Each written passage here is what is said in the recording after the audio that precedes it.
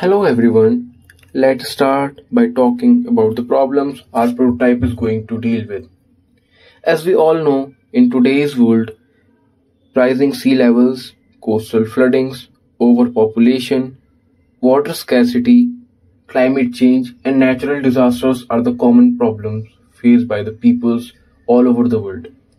And hence, Floating City will help us to detect these problems from our society.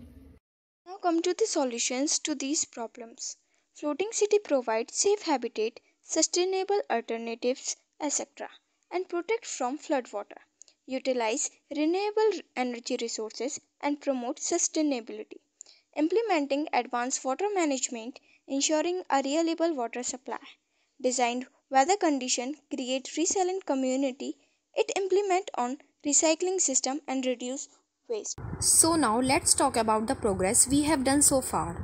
We have planned for sustainability and recycles, researched about the pilot project for generating floating urban module and still continue investment for advancing innovating solution. Next, we have implementation plan under budget of rupees 1000.